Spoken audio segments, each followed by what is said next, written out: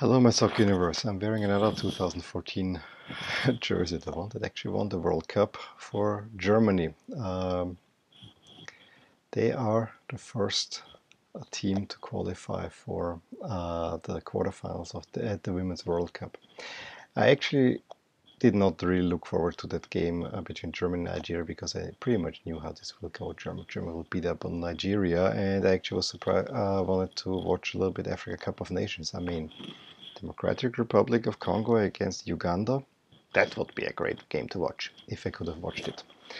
At the moment, they're showing only the big boys at the Africa Cup of Nations. So, okay, let's watch that game. Uh, I joined in the 15th minute. And yeah, from that moment on, the game got quickly out of hand. I mean, you could see that the Nigerian uh, women, they are robust. And I have to say, this was the other really great jersey match of matches as I saw. The white, all white Germany look against the dark green with the light green Nigeria. This is the one time that the green jersey looked actually good uh, on, on the pitch. And then the awesome backdrop of the mountains in Grenoble. I liked what I saw. I liked what I saw. Uh, but yeah, the game was quickly uh, done. I mean, uh, the first goal uh, came, I think, in the 20th minute. Let's check. Uh, just yeah, 20th minute through Popp It was a corner kick. Uh, Popp had had it in. There was a quick discussion if there was interference, but nope, uh, there wasn't. So the goal was given. Uh, then shortly after, a penalty given against Nigeria. Däbritz steps up, makes it in the 27th 2 0, and basically that made game over. Nigeria then tried to a little bit, had got something going, but to be honest, never really was in the game. Right after they have they had the biggest chance where an attacker just slides past it. And at that point then I said, okay, I saw the Nigerian women lose. Let's hope we see the Nigerian men uh, win. Gotta say though, the crowd, I liked that the stadium was more or less full. Not a big stadium, but that was what uh, that game deserved. And in the end, Schüller makes it uh, 3 uh, 0 in the 80 82nd, and Germany is on to the next round. And then in the evening, we had the other um, round of 16 matchup between Norway and Australia, which at the beginning I didn't watch because uh, I was watching Copa America. I was actually excited about that one. But when Brazil against Peru went out of hand, I quickly switched over and just missed the 1 0 for Norway through Herlovsen.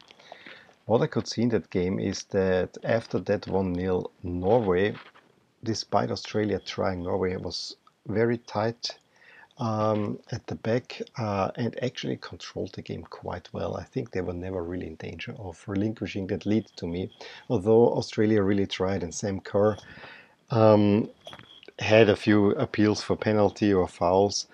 Um, actually, it was kind of interesting. There was a penalty given for Australia then, um, I think, around the 40th minute uh, with a potential handball.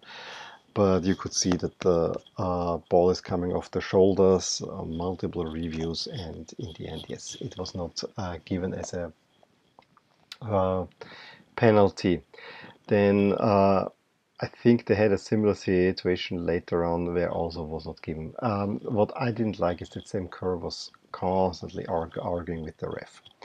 Australia second half really tried to um, go for goal, and you could see Norway just uh, relied more or less on their very well structured defense, although they have quite some great players. Uh, Graham Hansen, uh, most, um, the, being the most pro- prominent of them. However, Australia gets the equalizer from a direct corner kick by Callum Knight. And then for just a brief few minutes, I really thought that Australia is pressing and trying to get something. And there was then the second part where a penalty. They really were uh, going for the win at that point. However, the biggest chance came from Hansen, who curled a shot onto the inside of the post and it goes almost parallel to the goal line and goes out. If that hits the other post, might hit the other Norwegian attack and that uh, ball might go in. To overtime it goes. In overtime, um, Norway at first is a little bit on the back foot, but then a red card, which, yeah, we don't need to discuss it. It was clearly uh, held back um, the Australian defense seemed shaky at that point. So uh, Norwegian attack, I think it was Hansen, uh, was held back. It's a red card for Norway. Shortly thereafter, Norway hits the crossbar from a shot, and Norway looks stronger, but just cannot find the breakthrough. To penalties it goes. Norway shoots first. Hansen puts the penalty in. Kerr steps up and puts it a meter over goal. Reiten uh, makes it 2 0. Gielnik misses Mjelde 3-0 and now if Catley uh, misses then it, uh, it, would be the shortest uh, possible penalty shootout. She makes it but Engen makes it and puts Norway into the next round. So we have a second quarterfinalist, uh, nothing really decided yet but we have uh, Norway will play the winner of England-Cameroon which will be played tomorrow whereas we need to wait a little bit more for the uh, opponent of Germany, which will be between Sweden and Canada. Also an interesting matchup.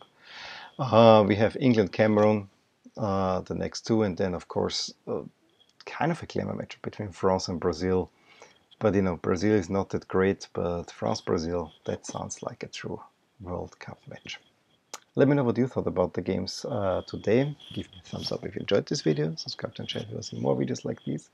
I'll talk to you soon. Bye. Hey there. I really hope you enjoyed this video and if you did, here are some videos and playlists that might be of interest to you too.